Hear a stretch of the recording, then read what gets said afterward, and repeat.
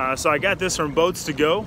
As soon as I get back to shore and to the dock, I'll give a more in-depth product review. Uh, but for now, uh, you can kind of see what kind of speed we're clipping at.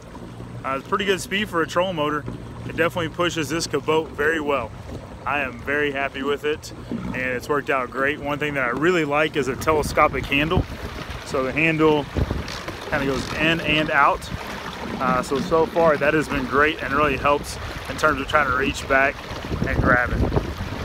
So when I get back to the dock, I'll give you a more complete overview of some of the features. All right, happy 4th of July, America. This is a product up, update, or product overview, I should say, of this new troll motor that I got from Boats to Go.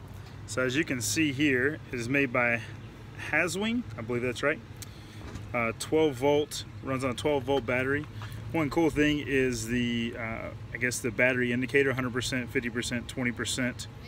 Uh, you also have a uh, handle that is adjustable and extendable.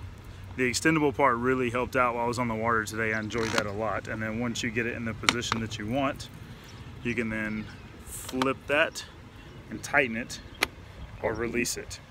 You also have your lever here to pull the uh, motor out of the water if you like or put it back down in the water. My only uh, suggestion would be to figure out a way to make this a little bit deeper in the water.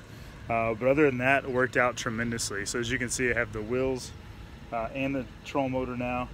Uh, it's been great. So I just went fishing. You have to check out that other video, but this is my first time out.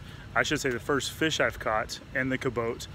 Uh, also the first time using the troll motor and I landed my personal best, which was a five and a half pound bass.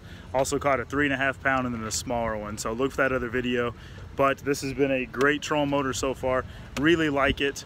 Uh, you saw previously, or maybe after this, when we're out on the water, or when I'm on the water, how fast it's going. But I'll tell you, it's uh, met, met my needs so far and uh, met my expectations. So it's been great. And it's only 10 pounds. So if you've got a Kaboat like I do, and you're putting in the back of the car like I am, uh, I'm using my wife's SUV right now, but normally I have it in my uh, in my sedan, just in the back seat. The 10-pound trolling motor, uh, and as mobile as it is, is what you need. Uh, really, just to take it off, it only weighs 10 pounds. Throw it in the trunk of the car, and you're good to go. So it has been great so far. Highly recommend it.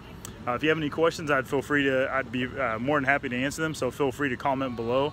Uh, and as always, thank you for subscribing, liking our videos, and uh, look forward to doing some fishing with this new Kaboat and also the new troll motor.